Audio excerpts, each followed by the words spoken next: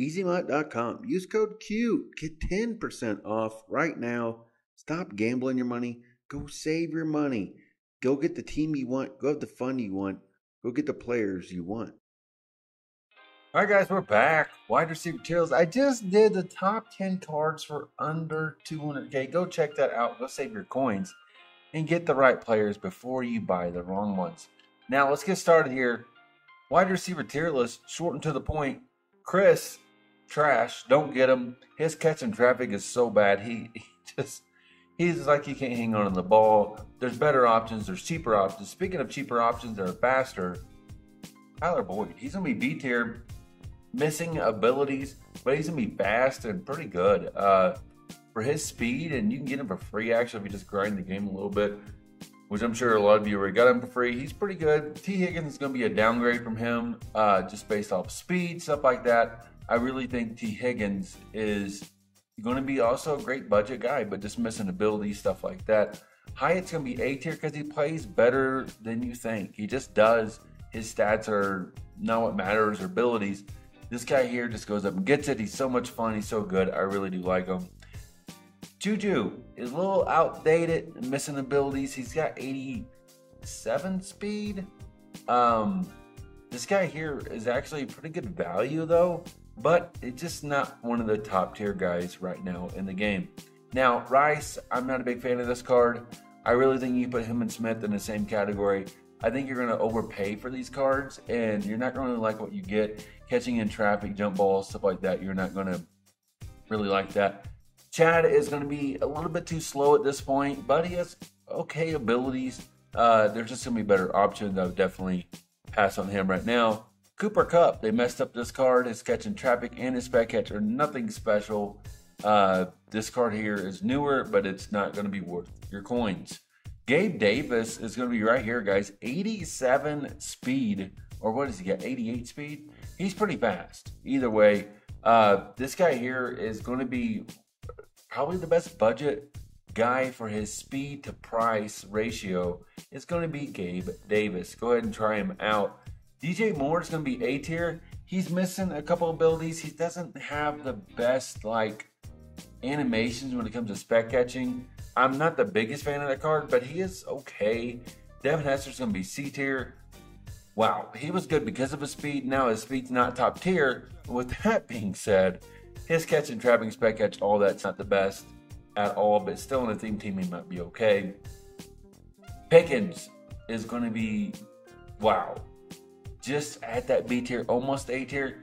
Pickens is going to be a little overpriced. Uh, I would not spend that much on him. And yeah, after the ball, after he catches the ball, juke spin, all that feels terrible. Not going to be your type of wide receiver that you really, really want. Uh, but far as like spec catch size and speed, he's going to be okay. Now, Jerry Rice, this guy plays a little bit better in his stats. He's almost B tier, but I like him. Um, I run him on my my budget team right now, and he does just fine uh, catching in traffic stuff like that. He's gonna be catching the ball in traffic way better than any of these cards. So just keep that in mind if you need somebody to go across the middle. Now Diggs is a tough one. Okay, it depends what you're looking for. Diggs is the best route runner in the game, so you could move him to S tier because he gets deep in, deep out, stuff like that. Some of that's unique, and I'm not talking about a jump ball guy, but across the middle and running routes, you still need a different guy, right? Not like every person has to be a jump ball guy. Diggs really hits those thresholds, and he's really good. Smith wasn't a big fan of this card when he first came out He's small, he gets ran over, he doesn't run nobody over, and well, his stats and thresholds are not going to be the best. Brian Finland is actually pretty good. Uh, I know he's a step slower now, but his ability, stuff like that, he is pretty good, especially at jump ball situations. Now, Odell is going to be right there at the B tier. He's going to be a, a fast guy for his price, but you're going to be missing stuff like across the middle and I know he has a higher spec catch, but here's the difference. He doesn't have the size to make that spec catch against bigger cornerbacks. So keep that in mind. So this Odell card here, you can put him A tier. because of that. It's and you know what's the only thing wrong with this card really is going to be his size, guys. He's under six foot, and I'm not going to sit here and tell you, hey, make sure you go throw a jump ball to a guy that can't go get it, right? And why do I like Diggs better? Because Diggs has better abilities and route running. So there you go. Now, Mike Evans and Allen, they're just right out of the A tier. They're a little outdated, a little slow, but I'm going to tell you, Keenan Allen gets some pretty good abilities. Uh, they're going to be okay options. Thielen gets nothing good. I didn't like this card day one. Uh, his abilities are not good. His speed is not good. He's definitely going to be a pass at this point. Torry Holt is amazing. He is S tier. Guys, he gets all, he might have the best ability stack in the game when it comes to wide receivers. Uh, Torry Holt, wow. Uh, getting open on this card is not difficult. It really isn't. DK Metcalf is going to be S tier as well. 90 spec catch on his size and his speed. He's got to be S tier.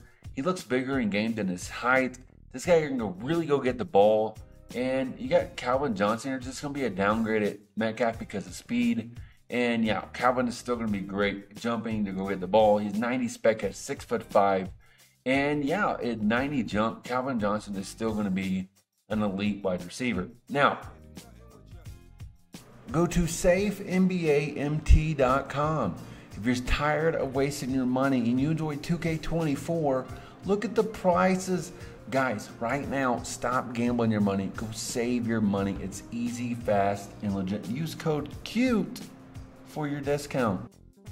This Chase card is good in a way. You put him on the outside, let him run deep, stuff like that. But where does he fail? Uh, catching traffic. So if he's not open, guys, his catching traffic's below 85, and it's not very good. So with that being said, this card will drop a lot of balls when he gets hit. Uh, he needs to be open to make that catch, and I get it. He's fast. He's just like OBJ. OBJ is under six foot, and uh, that's why I kind of hold OBJ back. If you put OBJ S tier, I'm not going to argue. But I will say Chase is not S tier because his catch in traffic. AJ Brown just doesn't have the speed to really compete for the S tier position. 87 speed, but you know what? He's pretty good besides that catching traffic, all that. I don't like a spec catch. He's not that big in the game. So just keep that in mind. I think you're kind of overpaying if you get him. I think there's cheaper options. Like you can just go get Calvin instead. And my editor put two Hopkins in there for no reason. Uh, Hopkins, guys, is going to be S tier. He's going to hit that great catch in traffic spec catch. He's over six foot tall.